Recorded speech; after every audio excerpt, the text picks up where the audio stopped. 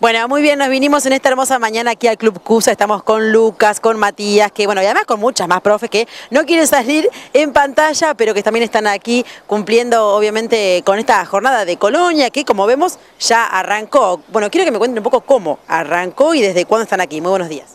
¿Qué tal? ¿Cómo les va? Bueno, primero agradecerles por, por la presencia acá, como, como todos los veranos. Eh, arrancamos la segunda semana de diciembre, el 12, el 12 de diciembre. Eh, y bien, bien, la primera semana fue media tranquila por el tema de que todavía no habían terminado las clases, pero siempre se, va sumando, se van sumando niños, así que por suerte hay muy buena, muy buena concurrencia. Los vemos súper despiertos y muy contentos a pesar de que estamos en la mañana. Sí, sí, por lo general los primeros días eh, son así, que los chicos vienen de un año cansador y bueno, la pileta, el calor, el verano siempre vienen bien activos. Después ya en enero ya están los dormidos, pero arrancamos bien, sí. ¿Qué actividades han preparado para este año? Porque sabemos que cada, todos los años eh, tienen actividades además de lo que es la pileta. No, sí, hay distintas actividades. Por ejemplo, los chicos recién estaban haciendo un poquito de manualidades, los más chiquitos, los otros hacen un poquito de handball. Eh, hay natación dentro de la colonia, así que sí, un poco variado. También se, comprometen mucho con lo deportivo, ¿verdad? Sí, sí, por lo general nosotros seguimos con los entrenamientos en el verano y según los días eh, y las categorías eh, vamos sumando entrenamientos para no perder lo del año. ¿Cuántos chicos hay aproximadamente en la colonia este año? 120 aproximadamente, sí. ¿Hay lugar o hay cupo todavía para que más chicos se sumen? Sí, sí, todavía hay lugar, todavía hay lugar. Si bien nosotros ponemos un límite, eh, todavía tenemos algunos lugares disponibles. ¿Y cómo puede la gente hacer? ¿Se tienen que acercar al club? ¿Tienen redes sociales?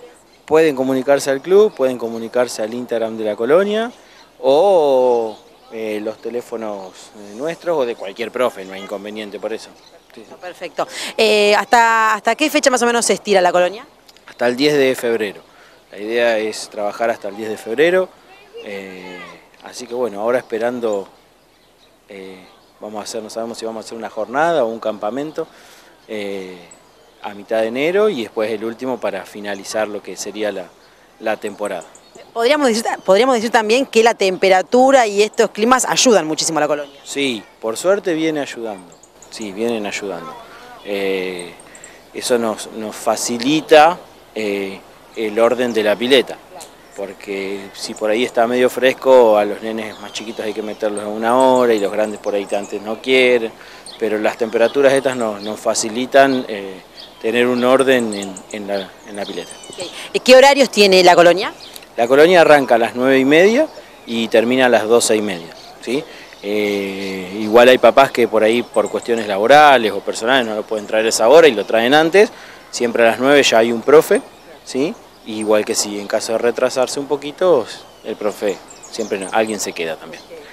bueno, muy bien chicos, la verdad que felicitaciones por todo el trabajo que realizan, por todo, eh, porque cada año eh, están presentes a pesar de todo, digo, y, después de la pandemia que fue difícil también, eh, arrancaron y que este año realmente les deseamos lo mejor y que les vaya muy bien, sobre todo en esta temporada 2022-2023.